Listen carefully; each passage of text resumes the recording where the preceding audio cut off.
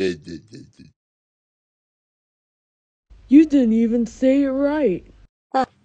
Hmm.